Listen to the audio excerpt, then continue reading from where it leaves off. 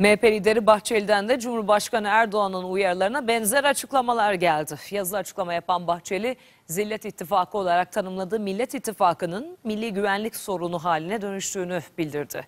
Hemen hemen muhalefetteki tüm partileri peş peşe sayıp CHP, HDP, İyi Parti, Saadet ve ÖDP'nin aynı hizaya geldiğini, bir numaralı destekçilerinin terör örgütü PKK olduğunu söyledi. FETÖ de bunlarla aynı çizgidedir diye ekledi. Rejim bunalımı, toplumsal ve siyasal buhran yaşanmaması için Cumhur İttifakı'nın 31 Mart'ta zafer kazanmasının şart olduğunu bildirdi.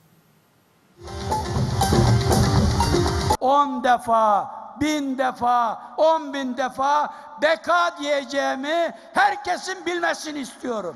Yerel seçimler için sürekli beka vurgusu yapan MHP lideri Devlet Bahçeli sözlerini tekrarladı. Partisinin il başkanları ve üst yönetimiyle bir araya gelen Bahçeli, 31 Mart seçimleri Cumhuriyet tarihinin en kritik seçimlerinden birisi dedi. Yeniden sistem tartışmalarının sükun etmemesi için 31 Mart'ta Cumhur İttifakı başarıya ulaşmalıdır. Yeni bir rejim bunalımı, yeni bir toplumsal ve siyasal buhranın yeşermemesi için 31 Mart'tan Cumhur İttifakı zaferle çıkmalıdır.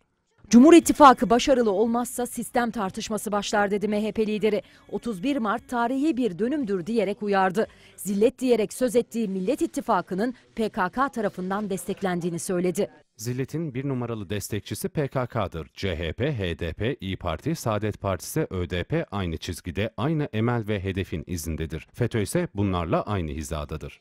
Yerel seçimlerin beka ile ilgisi olmadığını savunan Millet İttifakı'nı hedef aldı. Zillet İttifakı bir milli güvenlik sorunu haline geldi açıklamasını yaptı.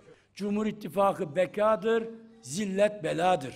MHP lideri teşkilatını da bir kez daha Cumhur İttifakı konusunda uyardı. Seçim çalışmalarının Cumhur İttifakı'nın ruhuna uygun yapılmasını istedi.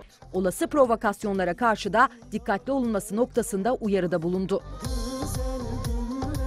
Toplantıya katılanlara MHP'nin 50. yılı için özel olarak bastırılan anı parası hediye etti.